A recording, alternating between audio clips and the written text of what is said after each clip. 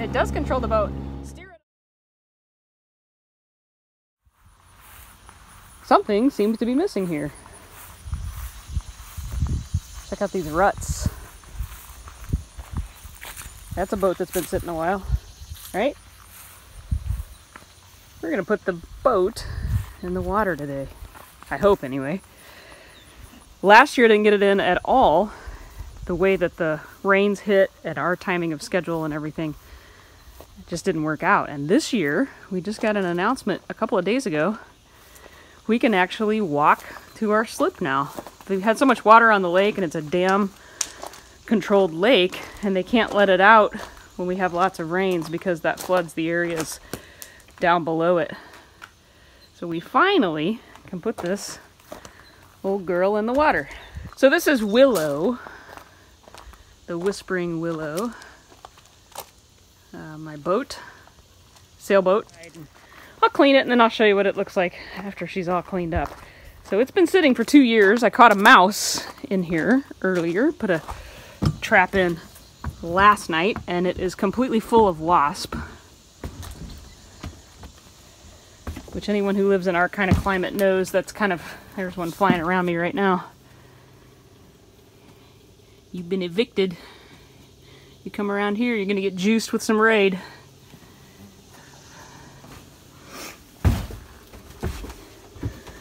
So the mice have been busy, chewed up my toilet paper. Building some nest material.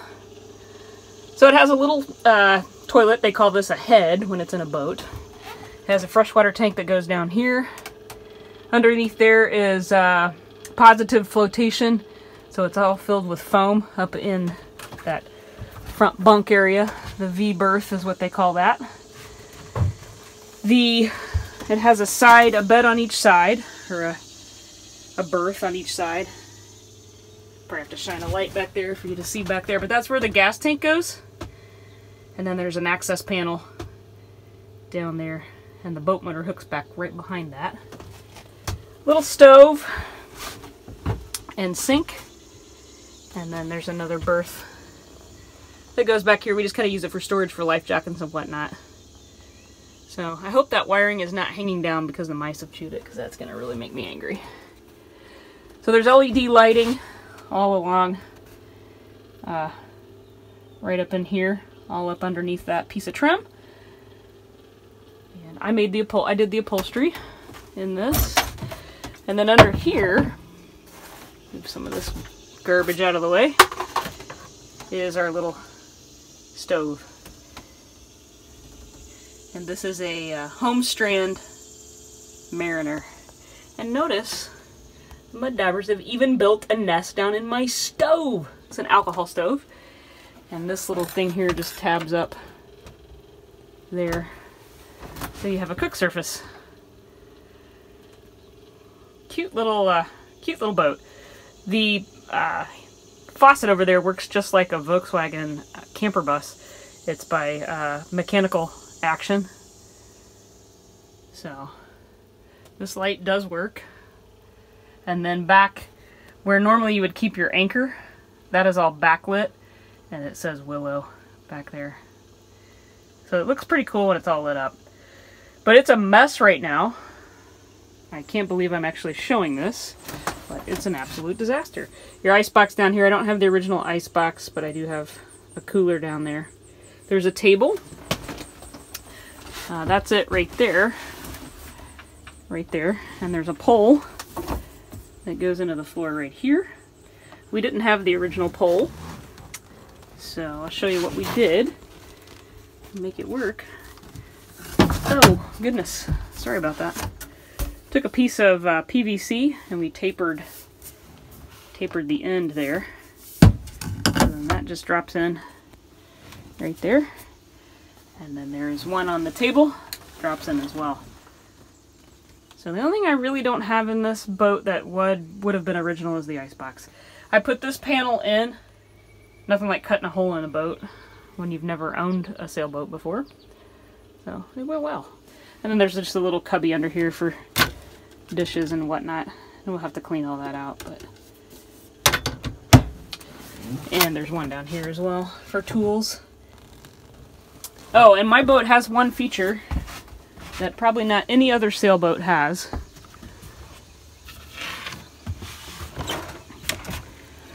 I have a fire pit. Because what's the best thing about camping? The campfire.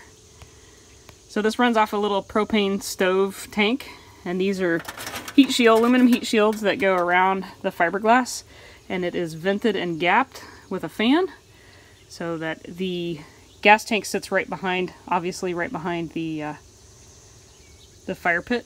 That's kind of dangerous, right?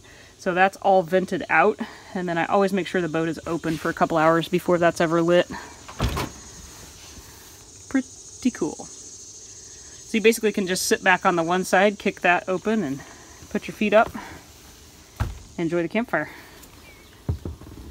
But it needs treated again. You can see uh, this side here of the teak versus this side. So I've got some work to do on it, but I'm going to clean it up uh, today and go ahead and get it in the water. So let me get busy. Check this out. So I've got a mud dauber nest built there, and then a big old sucker can't see it very well, but built right there on the side of that. They're just relentless out here.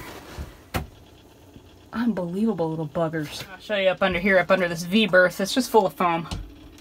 And it doesn't appear that anything has been down in there. So, and I bagged a few pieces of it in mesh bags so that when I want to take it out the next time, I don't have to take it out piece by piece. So that is the front of the boat kind of all wiped down. This uh, flashing or this guard right here is for my fire pit. It's the backsplash part of my fire pit. We just store it under there. Okay, so let me get to sweeping out some mud. So on those side berths, the battery goes in this one. Everything's labeled and pulled down there. The hole uh, has the solar charger running out. Under here is just storage of parts and random assortment of things you might need on a boat. Hose clamps and that kind of thing.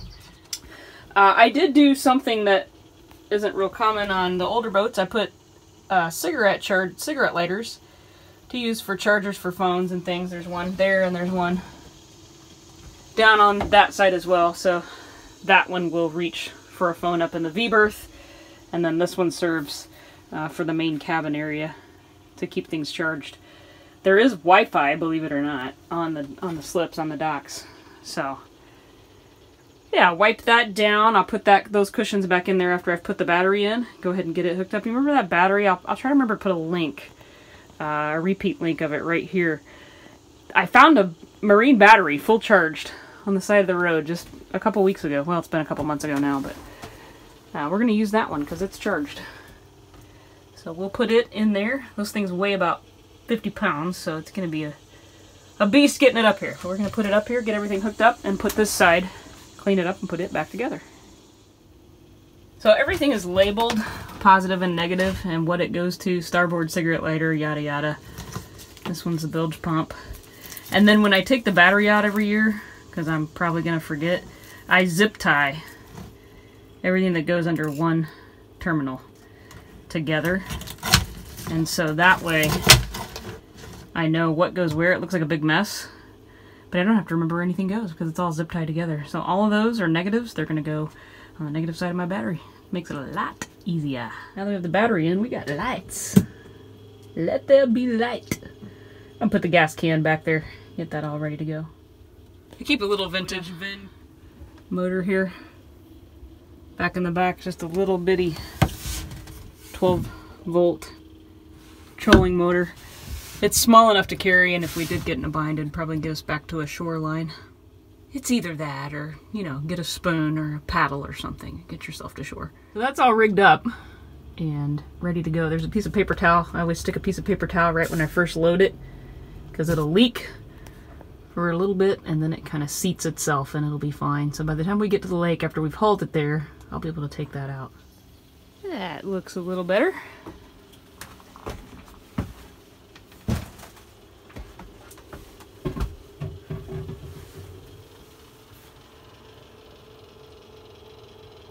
The noise you hear is the solar fan up there running. Cleaned the toilet out. Put the coverlets back in here. It's funny how hot it is in here right now, but how cool it is of an evening if you stay on it. That area all cleaned up. Back here is all cleaned up. So, uh, this is our anchor rope and all of that. Table fits nicely, tucks right in there. Cooler floor still a little dirty. I'm not going to clean it completely till we get there. These are the uh, cockpit cushions and they they have foam in them so they can be used as flotation devices. That's why they have to have straps on them.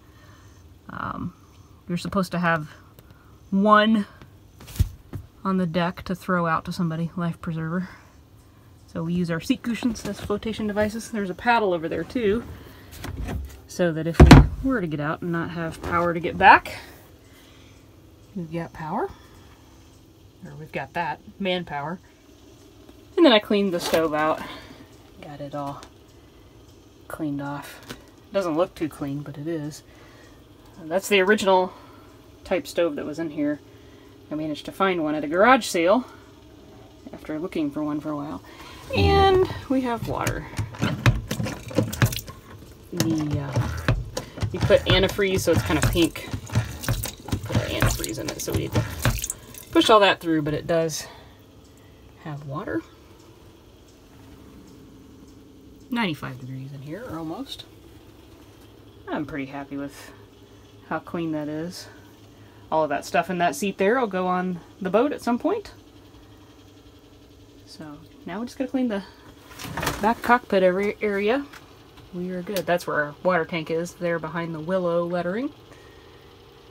I don't know if you'll be able to see the uh, anchor light or not, but I'll go ahead and turn that on here just a second. The sun is kind of killing it, but at night it has an orange light behind it and it lights up and says Willow. So, can't really use it as an anchor point because I put a fan, another one of those uh, uh, solar fans behind there, so I can't use it as an anchor point anymore, so I had to cover it somehow. These are little solar fans we're running. You can have the air come in or go out. They have little lights built in, so they have like a blue light built in. And uh, they work really well. They just go on the outside. There's a little solar pack out there.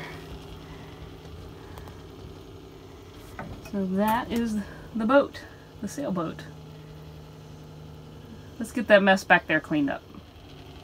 I almost forgot to show you to, to show you one of the coolest features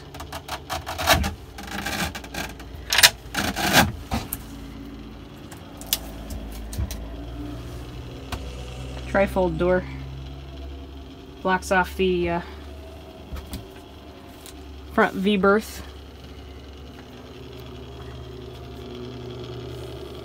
Can't really see it very well. Such a tiny boat. I'll try and open it from the other side so you can see it.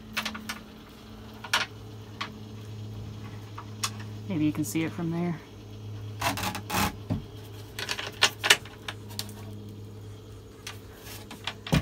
Show what it looks like closed.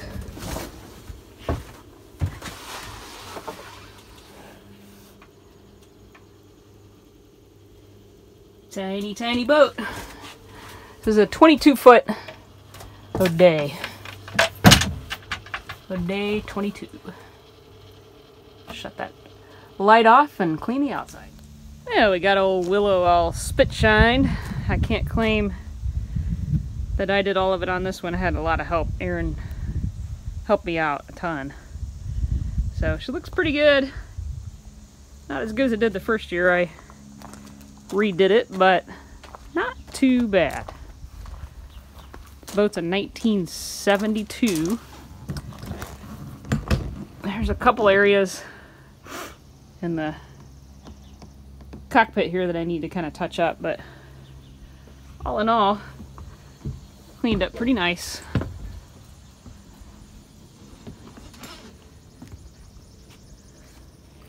I broke, uh, we had a pretty bad windstorm, we had a tarp on it, and there is a stanchion arm that comes out, holds the standing rigging out.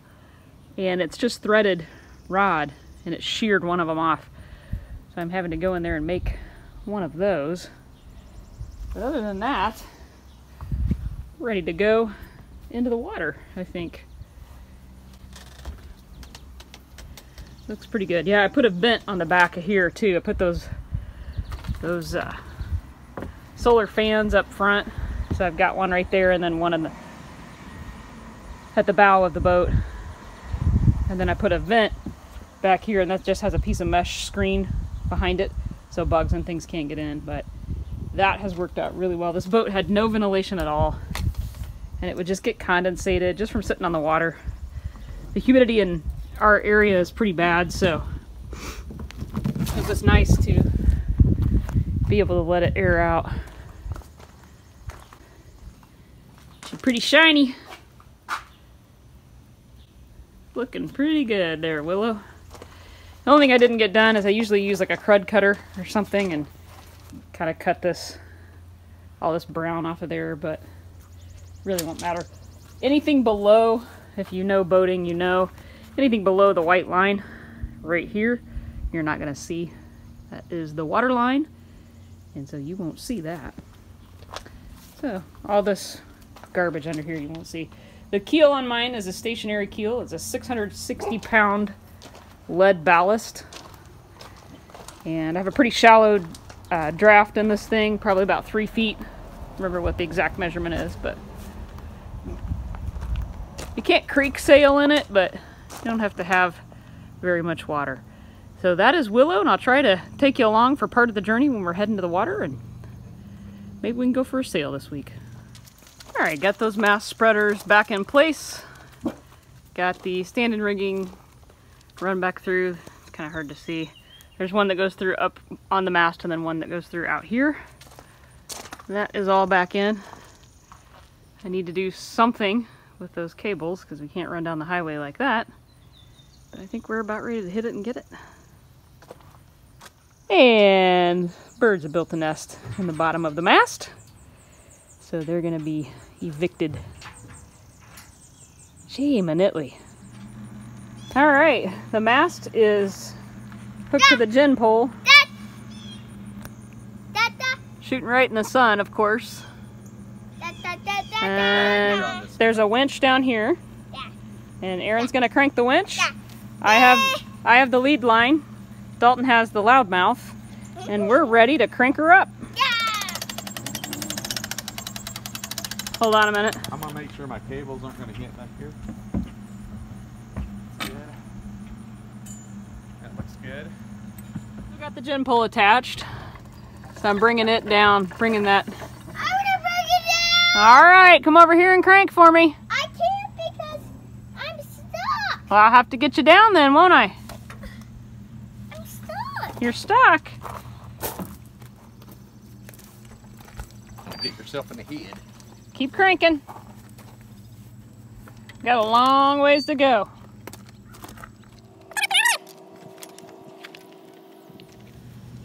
Jimple. Gin pole? What is it? Jimple. It's a gin pole. We're all set up, ready to put her in the water. But first, we have to go down and put some dock lines on. Mommy, did you forget what we were doing? What are we doing? Taking the rope down to the dock line. Taking the ropes down to the docks, right? Yeah. Let's move it or lose it. You're putting in a dock line. You twist the rope when you loop it over so that this one will rub against this one. And your hope is that it won't back off.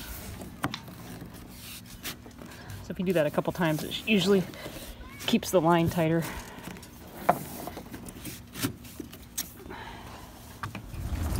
We're on the ride around to the lake. Here we go. Riding around. I can smell smoke. Yeah, it does kind of smell smoky, doesn't it? I think it's car exhaust or boat exhaust. Might be boat exhaust. Got our life jackets on. We're good to go. Where does Daddy go? Daddy's gonna be driving the truck. Where? He's gonna back us into the lake. We're gonna hope and pray the motor starts because I haven't started it yet.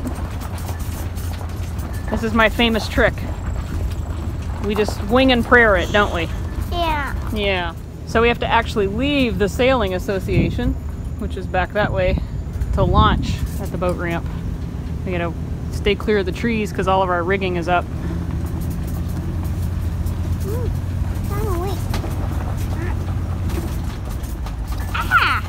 Get a bug in your eye? No.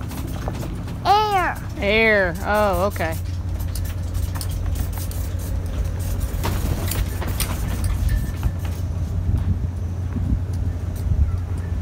So see, I. So see, ow.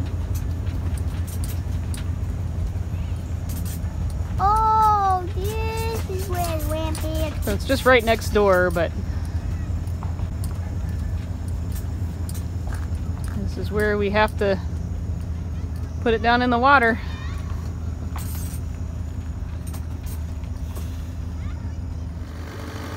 Starts every time. Engines. Oh, you do? Are you driving? Look at you. You know what this is called? What? A tiller. And it controls the rudder, which is that great big white thing in the ground or in the water.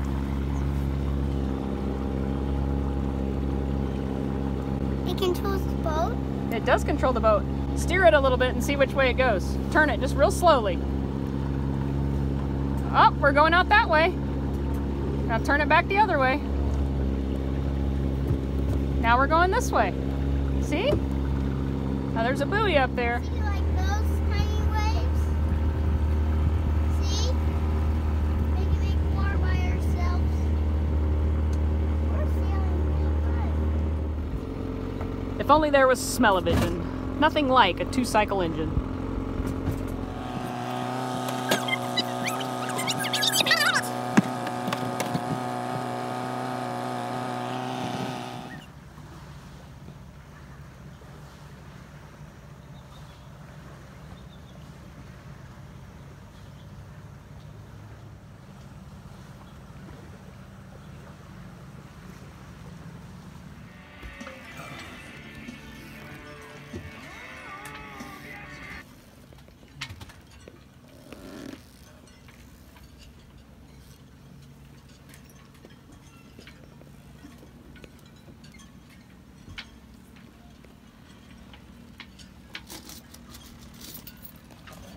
Well, oh Willow is in the water. All in a day's work.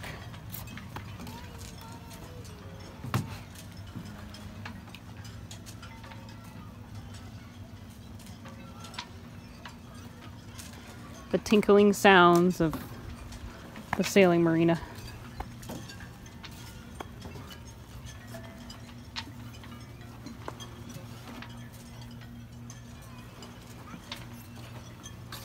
Dalton calls my mermaids angels. He said, Mama, don't smash your angels. Well, we're going to leave her for the night. Catch you guys when we go for a sail.